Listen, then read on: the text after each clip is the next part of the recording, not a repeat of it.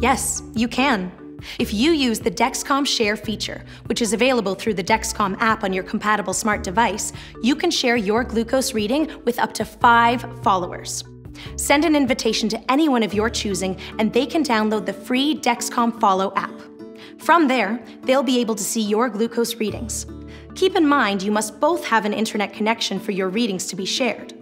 Users should always confirm readings on their own CGM before dosing or making other treatment decisions.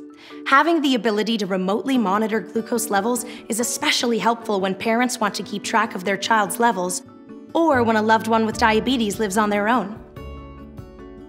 The Dexcom Share feature and Follow app can offer both the user and the caregiver a little extra peace of mind.